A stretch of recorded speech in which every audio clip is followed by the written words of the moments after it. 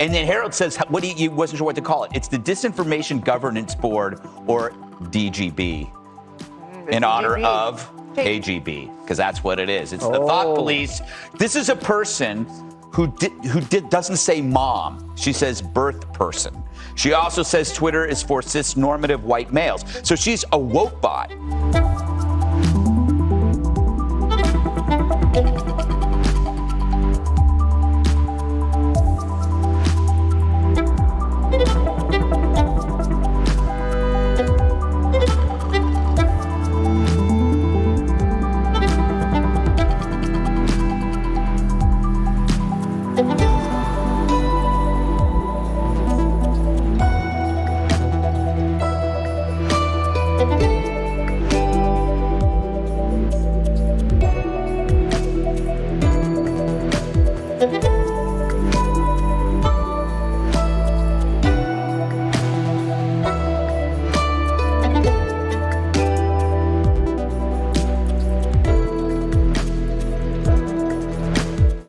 Information laundering is really quite ferocious. It's when a huckster takes some lies and makes them sound precocious by saying them in Congress or a mainstream outlet. So, disinformation's origins are slightly less atrocious.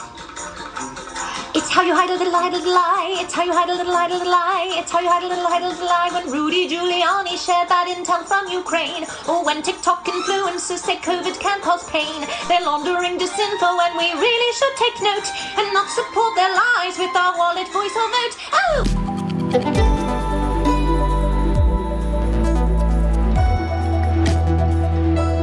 This woman has spent a ton of time on TikTok, which is the Chinese Communist Party's largest espionage tool in the world. I find that an interesting thing given her experience, according to the press secretary, of bringing a lot of uh, you know perspective on disinformation to this job when she spent so much time on TikTok engaging on that platform. Seems to me she belongs on Broadway, not in a government job.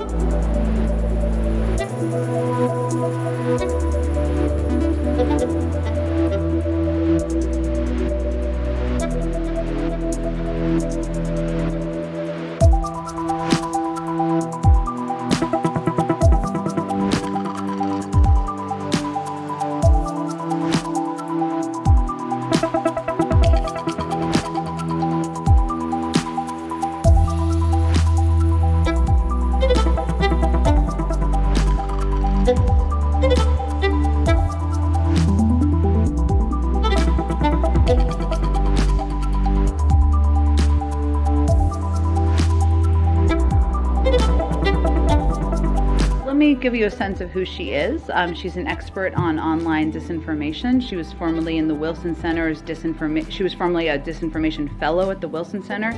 She's testified before Congress as well as the United Kingdom and European parliaments, advised a Ukrainian foreign minister, particularly relevant in this moment, under the auspices of a Fulbright Public Policy Fellowship and overseeing Russia and Belarus programs at the National Democratic Institute. Any hiring decisions are up to the Department of Homeland Security, but this is a person with extensive qualifications.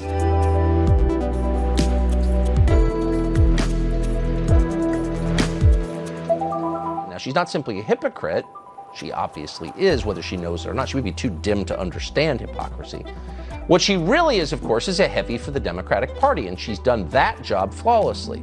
Nina Jankowicz, the disinformation hunter, once called the Hunter Biden laptop story, which is entirely true, a quote, Trump campaign product.